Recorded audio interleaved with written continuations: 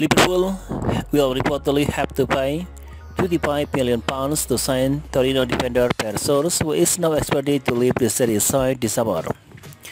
According to La Stampa via Twitter commenter Carto Web, the Turin-based side have placed a 25 million pounds valuation on the Dutch defender, with Torino looking for a good fee in order to send a suitable replacement for Schuurs, who could be, could be bound for Liverpool. Tuttosport reported earlier in the window the Turin club is a big fan of Perr Schuurs and that the Liverpool coach is ready to bring the Dutchman to Anfield this summer. Moreover, according to the same publication, Liverpool have had an offer rejected by Torino for the defender.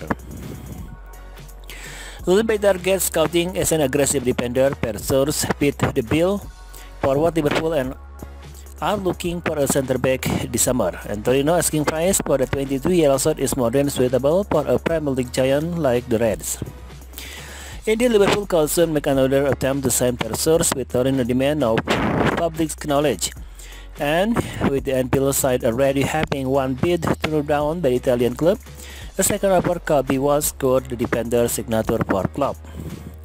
Per is quickly emerging as a top target for club Liverpool as the Red prepare to make their third signing of the summer, and with a 25 million pounds transfer fee now standing between Klopp and his men. A second bid shall be on its way as soon as possible. As we know, the sooner transfer target are in the building at Liverpool, then the better.